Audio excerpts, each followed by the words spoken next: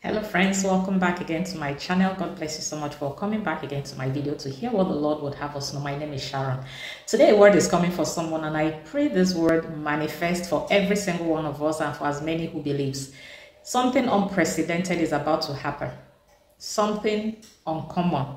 Something that will put a smile on your face. Something that will change your story. Something, something is about to happen for someone that will cause you to ask, What is this? What is this? Because you won't even have an explanation. When men are asking you, when men are asking you to explain how this came about, you will not even have an answer for them.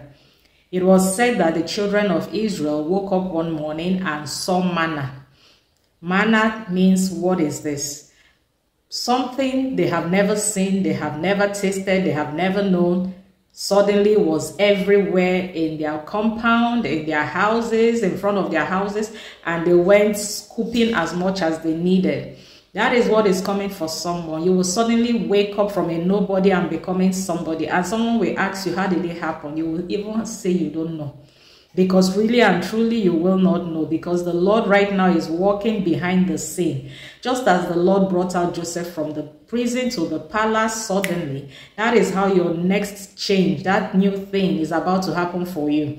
You will wake up and you are wondering, what is this? Anyone who sees it, what is this? How did this come about? How did this become so for her? How did this become so for him? Even you will be confused, but hey, that is God doing it for you. And God is going to do it speedily for as many that is hearing me right now. I pray for you today. May that good thing, that new thing that the Lord is said to do, that will cause men to ask, what is this? Even you will ask, what is this? Because you do not even understand how it's going to come to pass. The Lord will do it for as many who believes in Jesus' mighty name.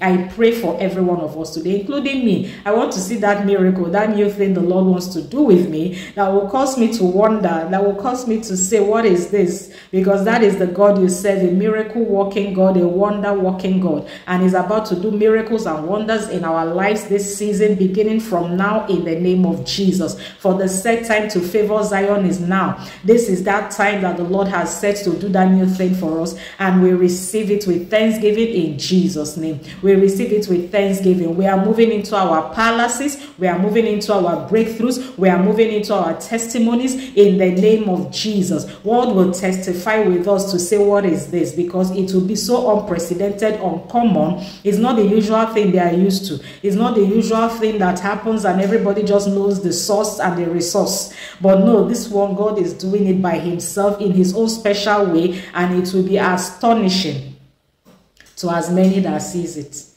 God bless you, friends. I receive mine in advance and I pray that it happens for every single one of us in Jesus' name. I'll see you again in my next video. Bye bye.